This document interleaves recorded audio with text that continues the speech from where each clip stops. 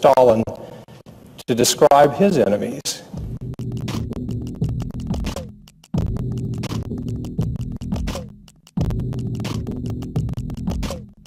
Some untruths are trivial, such as a bizarre contention regarding the crowd size at last year's inaugural.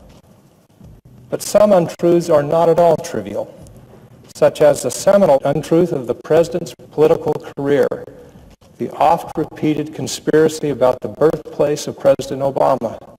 If he has a birth certificate, he should release it. He could have been born in Kenya, could have been born, some people think, Indonesia. Also not trivial are the equally pernicious fantasies about rigged elections and massive voter fraud, which are as destructive as they are inaccurate. To perhaps the most vexing untruth of all, the supposed hoax at the heart of Special Counsel Robert Mueller's Russia investigation.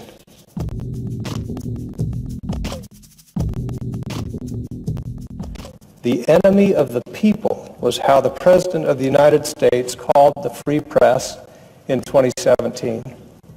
It bears noting that so fraught with malice was the phrase enemy of the people that even Nikita Khrushchev forbade its use, telling the Soviet Communist Party that the phrase had been introduced by Stalin for the purpose of, quote, annihilating such individuals, unquote, who disagreed with the supreme leader.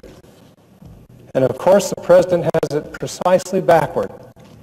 Despotism is the enemy of the people. The free press is the despot's enemy.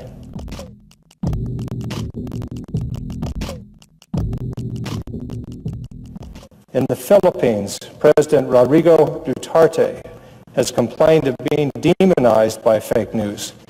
Leaders in Singapore, a country known for restricting free speech, have promised fake news legislation in the next year. Venezuelan President Nicolas Maduro complained to the Russian propaganda outlet that the world media has spread lots of false versions, lots of lies about his country, adding, this is what we call fake news today, isn't it?